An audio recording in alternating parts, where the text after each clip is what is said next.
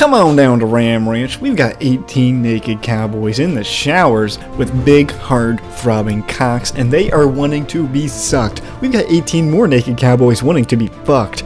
As we speak, there are cowboys in the showers at Ram Ranch on their knees wanting to suck some cowboy cocks. Ram Ranch really rocks.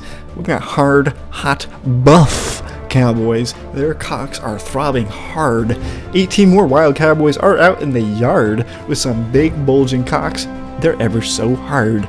We got big hard throbbing cocks getting sucked real deep. We got cowboys, they're even getting bucked in their sleep.